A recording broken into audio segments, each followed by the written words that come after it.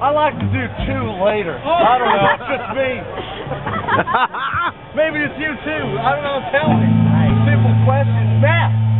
No, go ahead. Go ahead. Forget it. Too late now.